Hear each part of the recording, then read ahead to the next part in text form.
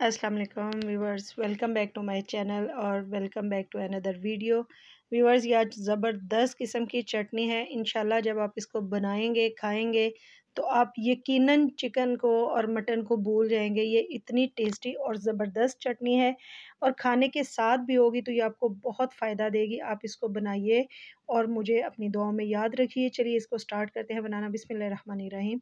सबसे पहले ये देखें मेरे पास आग वाला चूल्हा नहीं है। अगर आपके पास आग वाला है तो आप उसके ऊपर इस तरह स्टैंड रखें।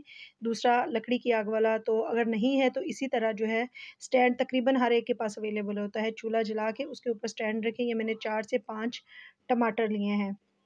आप इसकी क्वांटिटी कम और ज़्यादा अपनी फैमिली के अकॉर्डिंग कर सकते हैं कि जितनी आपको रिक्वायर्ड है, आप उतनी बना लें, क्योंकि ये सारा टाइम आप इसको कम अज़ कम भी दो से तीन वीक फ्रिज में रख सकते हैं। खाने के साथ इसको खाएँगे तो ये ज़बरदस्त मज़ा भी देगी और इसका टेस्ट भी इस तरह बहुत अच्छा आता है।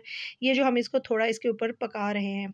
सिंपल टमाटर भी यूज़ हो सकते हैं या आप उनको फ्राई भी कर सकते हैं, लेकिन मैं इस तरह इसके कर रही हूँ इसमें हल्का सा स्मोकी फ्लेवर आएगा। वो टमाटर उतार लिए हैं मैंने और उसी के ऊपर ये देखें, एक मीडियम साइज़ का प्याज है और एक लहसुन का पूरा पीस है, वो रखूँगी।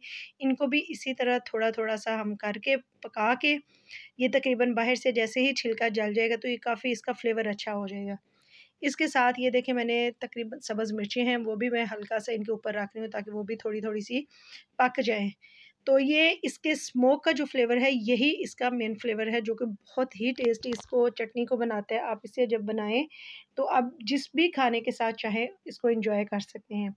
आप व्यूवर्स जो मेरे चैनल पर न्यू हैं, वो चैनल को लाइक करें सब्सक्राइब करें और बेल आइकॉन ज़रूर प्रेस किया करें और एक प्यारा सा कमेंट किया करें कि आपको ये हमारी कोशिश जो है, वो कैसी लगती है।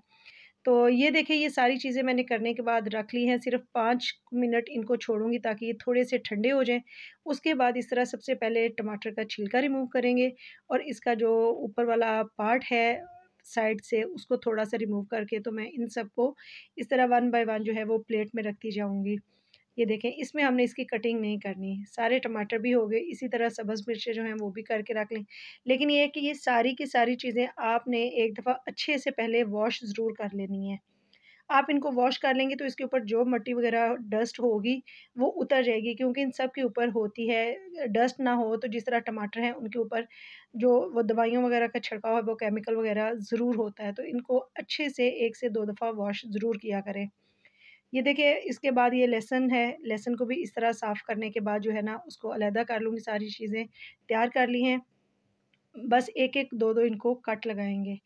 ये व्यूवर्स आप इस चटनी को अगर वेट लॉस के लिए भी इस्तेमाल करेंगे तो ये बेस्ट है, एक से दो चम्मच चटनी लें और उसको रोटी के साथ खाएँ सिर्फ़। तो ये आपके मैदे को भी बहुत जो है वो अच्छा रखेगी। उसके बाद ये दूसरी इसमें चीज़ थी धनिया और पुदीना, इनको मैंने अच्छी तरह वॉश किया, इस तरह पेपर के ऊपर डाला है, आप चाहें तो कपड़े के ऊपर डाल कर भी कर भी इसको ड्राई कर सकते हैं। लेकिन मैंने अखबार के ऊपर डाला है और ऊपर से मैं इनको टिशू के साथ ड्राई करूँगी। अब ये सारी की सारी चीज़ें जो हैं वो जाएँगी चॉपर में। अब इसके मेन मसाले और मेन इसका जो फ्लेवर है टेस्ट का, वो आपको आगे जाके पता चलेगा, वो आपको एंड पे बताऊँगी। इसको ज़रूर आखिर तक देखिए और बनाइए अपने घर में।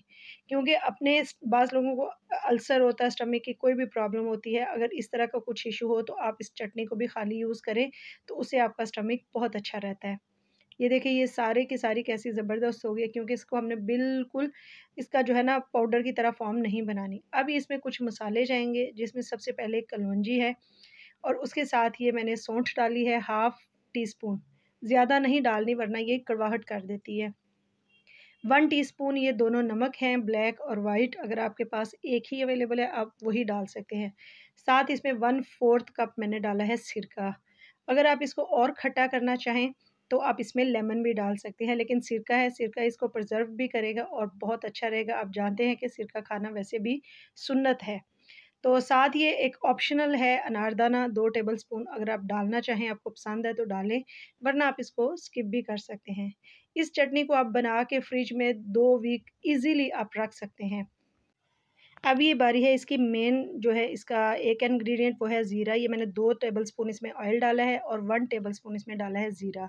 इसको अब मैं अच्छी तरह जो है पकाऊँगी तकरीबन एक मिनट हमने इसको जलाना नहीं है, लेकिन ये जैसे ही एक मिनट तकरीबन होगा तो आपको लग जाएगा कि ये ज़ीरा भी जो है ना, वो सही से पक गया, उसका कलर चेंज होना शुरू हो जाएगा।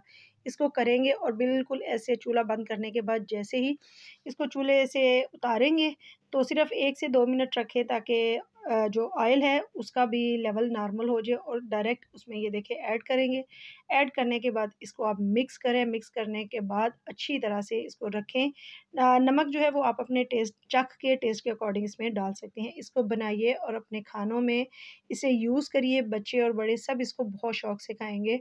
ये देखिए मैंने शीशे का जार लिया है आपके पास और बिल्कुल ये साफ़ होना चाहिए। अगर आपके पास शीशे का है तो ठीक है, नहीं तो आप इसको प्लास्टिक में भी डाल सकते हैं। इसको बनाएँ और इन्जॉय करें मुझे अपनी दुआ में याद रखें ताकि मैं और